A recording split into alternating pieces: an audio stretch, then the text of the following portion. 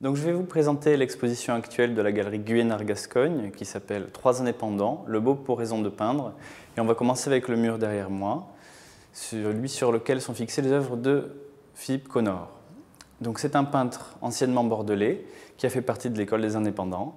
Et donc on a sur ce mur des études pour la cathédrale de Chartres et le, tableau ensuite de la cathédrale de Chartres. Donc ce sont des œuvres sur cette série qui peuvent rappeler un petit peu Bissière, un petit, peu, un petit peu ce maître bordelais. Et on a d'autres œuvres sur, euh, sur l'exposition qui invitent plus à la rêverie dans une expression un petit peu plus libre que vous serez amené à voir.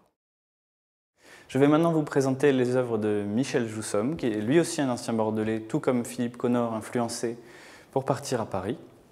Et donc là, on est sur une expression complètement différente. Ce sont des acryliques sur toile.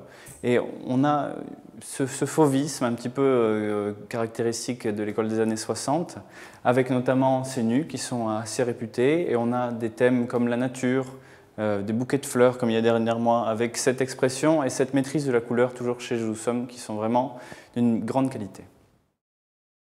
Je vous présente maintenant le dernier artiste de l'exposition, qui est Samuel Papazian, qui est donc d'origine arménienne et qui a rencontré nos deux autres artistes sur Paris en apportant un petit peu son soutien à l'école des indépendants, en exposant avec eux, etc.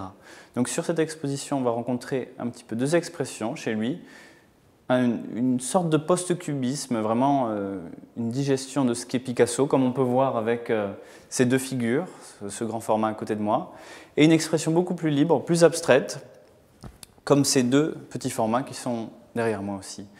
On voit chez euh, Papazian vraiment une maîtrise de la technique au niveau des aplats, au niveau des transparences. Il met très longtemps à réaliser l'étoile, comme, euh, comme nos autres artistes, remarquez, comme Philippe Connor aussi.